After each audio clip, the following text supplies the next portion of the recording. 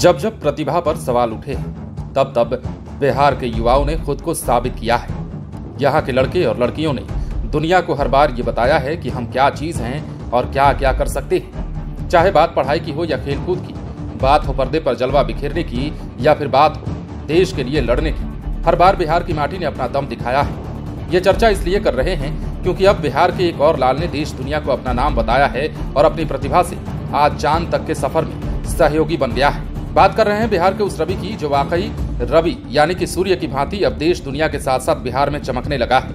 ये रवि कौन है और कहाँ से आते हैं, वो सब कुछ हम आपको बताते हैं। और ये भी बताते हैं कि चंद्रयान तीन मिशन में सहयोगी बनने के बाद उनके पिता गर्व महसूस करने के बाद क्या बोल रहे हैं। दरअसल आपको पता है कि इसरो द्वारा गुरुवार को श्रीहरिकोटा के सतीश धवन स्पेस सेंटर से चाँद पर भेजे गए चंद्रयान तीन मिशन में वैज्ञानिकों की टीम में स्थानीय जवाहर नवोदय विद्यालय के पूर्व छात्र और ज़िले के पुपरी निवासी अरुण चौधरी के होनहार बेटे रवि कुमार भी शामिल हैं। बताया जा रहा है कि चंद्रयान तीन संभवतः आगामी तेईस अगस्त को चाँद की सतह पर लैंड करेगा।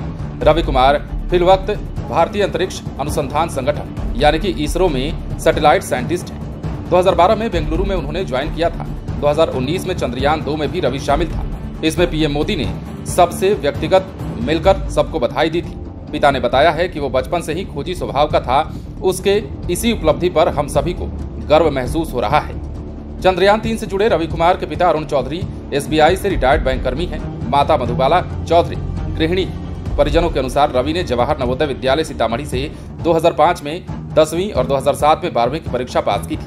2008 में आईआईटी जेई कंप्लीट किया था। 2012 में स्नातक किया। नवोदय विद्यालय के ही पूर्व छात्र अमरेंद्र कुमार ने बताया है कि ज़िले के लिए ये गौरवान्वित करने वाला पल है। दिन प्रतिदिन देश के मानचित्र पर ज़िले की पहचान बनाने के लिए अन्य युवा भी बेहतर प्रयास कर रहे हैं। इसमें रवि कुमार भी उधर रवि की इस ऐतिहासिक उपलब्धि पर परिजनों में खुशी की लहर है।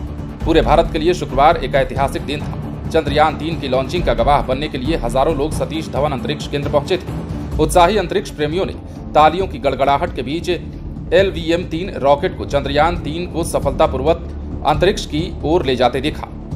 तमिलनाडु आंध्र प्रदेश और कर्नाटक से दस हज़ार से अधिक लोग सुबह से ही यहाँ जमा थे। इन्हें सतीश धवन अंतरिक्ष केंद्र के मुख्य प्रवेश द्वार के निकट इसरो द्वारा निर्धारित एक गलियारे से प्रक्षेपण देखने की अनुमति दी गई थी। बिहार के मुख्यमंत्री नीतीश कुमार ने भी बधाई देते हुए कहा है कि चंद्रयान तीन का सफल प्रक्षेपण कर इसरो ने अंतरिक्ष में एक नया इतिहास रचा है। ये पूरे देश के लिए गर्व की बात है।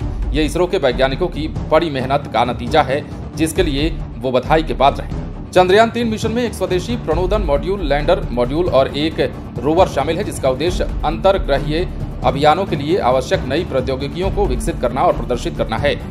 बताया गया कि चाँद के दक्षिणी ध्रुव पर लैंडर की सॉफ्ट लैंडिंग के बाद इसके भीतर से रोवर बाहर निकलेगा और चंद्र सतह पर चहलकदमी कर अपने उपकरण epics access alpha particle X-ray, spectrometer की मदद से चौदह दिनों तक अन्वेषण कार्य को अंजाम देगा। मिशन के ज़रिए इसरो चंद्रमा पर पानी और खनिज की मौजूदगी की जाँच करना चाहता है।